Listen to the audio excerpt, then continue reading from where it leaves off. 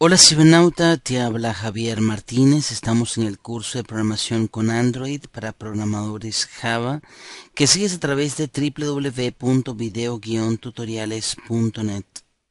Bien cibernauta, entonces habíamos quedado acá en que íbamos a realizar la parte correspondiente a el SQLite, pero habiendo ya creado nuestra base de datos alumnos y teniendo nuestra tabla estudiantes que tiene ID, nombre, carrera y correo.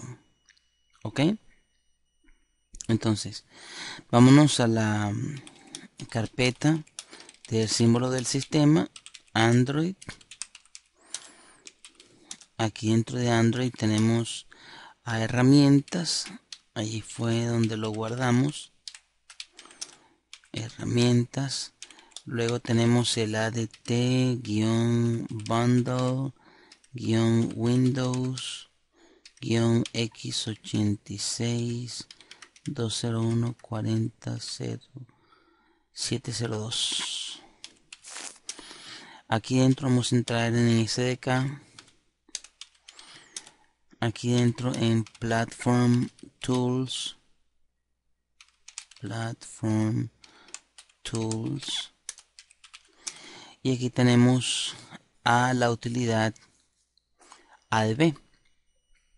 Tenemos también el SQLite 3, que con ellos es que vamos a trabajar.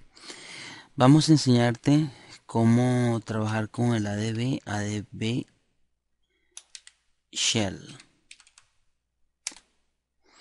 Aquí me sale root arroba android y me sale un numeral aquí puedo yo colocar la parte que tiene que ver con la mayoría de los comandos que son conocidos en Linux como el ls para listar. Aquí tengo todas las uh, los directorios que están dentro de este shell. Tenemos a ls a cct config. Nos importa acá es data ok. Entonces vamos a entrar en la parte de data. Cd igualito que en dos y en el símbolo del sistema entramos a data y colocamos ls en vez de dir. Aquí lo que nos interesa es la parte de data ok. Aquí tenemos a data colocamos cd data ls aquí nos muestra unas eh, diferentes carpetas allí. Estructura de directorio vamos a entrar nuevamente en data ls exactamente. Entonces aquí tenemos la que nos interesa que es com punto ejemplo 1 curso.android. Entonces vamos a entrar allí.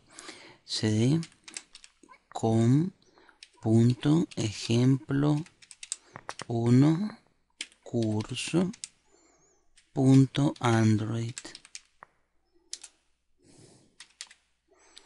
y ahora le damos ls y tenemos ls caché databases y live vamos a entrar en databases. Ls y tenemos a alumnos db aquí está.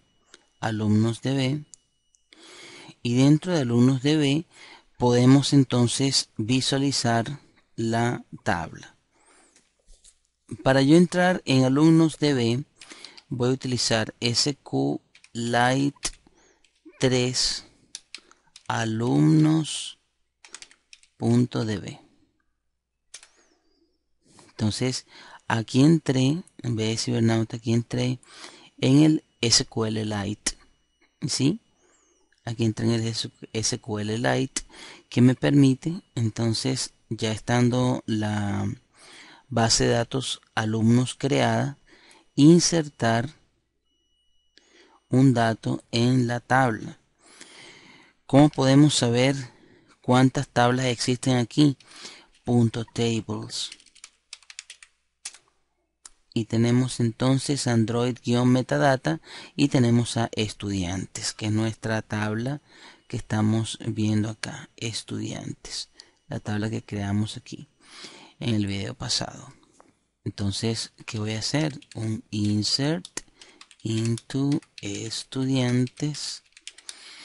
Entonces, para poder accesar al SQLite por medio del shell, ¿ok? Insert into estudiantes. Vamos a colocarle los tres campos. En este caso sería nombre, coma, carrera, coma, correo. Y aquí values.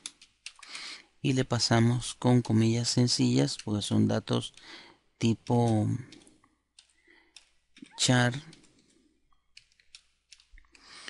Pasamos. Por ejemplo, Javier. Nos vamos aquí, colocamos informática informática. Y por último, el correo javier arroba gmail.com colocamos aquí el punto y coma y le damos a enter él muestra acá el comando insert into estudiantes, nombre, carrera, correo, values, Javier, informática y javier.gmail.com. Entonces, para poder consultarlo, hacemos un select asterisco from estudiantes. Select asterisco from estudiantes. No me está mostrando. Vamos a ver aquí que hice. Insert into estudiante. Nombre carrera correo. Ok. Values. Javier coma informática coma javier arroba gmail.com muy bien. Esto debería mostrarse. Ah, aquí.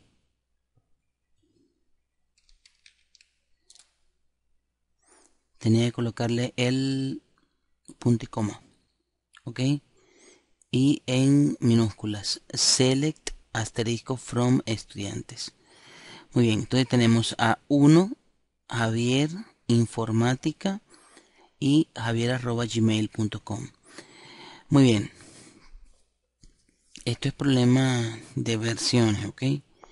Vamos a ver ahora esto de una manera un poquito más organizada. Por aquí vemos uno que sería el ID, Javier que sería el nombre, informática que sería la carrera y el correo sería javier.gmail.com. Vamos entonces a realizar lo siguiente. Vamos a colocar un comando que se llama punto header header on. Ok aquí tengo header on. Y ahora luego que tenga a header on es decir que tenga los encabezados lo voy a ver en punto punto mode columns. Modo columnas ¿Qué va a pasar? Que si le hago ahora un select asterisco from estudiantes, debería verse más organizado. Ahí tenemos entonces el ID, que sería el número 1, el nombre que es Javier, carrera que es informática y correo javier.gmail.com. Entonces de esta manera, cibernauta, hemos um, visto cómo podemos agregar un registro desde el SQLite en la tabla que ya habíamos creado con código Java en videos pasados. Vimos que la instrucción open or create database alumnos.db funcionó bien. También funcionó el comando para crear la tabla. Funcionaron los campos, funcionó la ejecución.